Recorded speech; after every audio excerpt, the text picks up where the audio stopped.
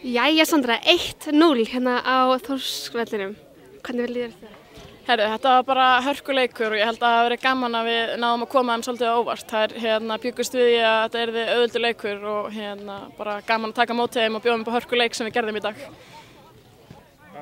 Hvernig við búast við leiknum úti?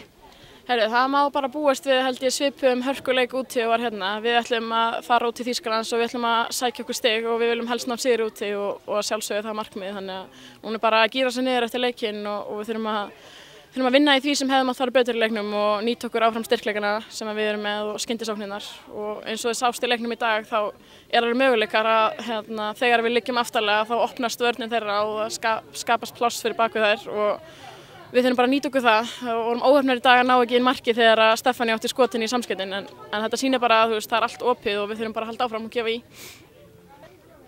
Ertu sátt við eigið framlag í leiknum? Já, ég er nokkuð sátt með mitt framlag í leiknum sem og allra leikmanni í liðinu.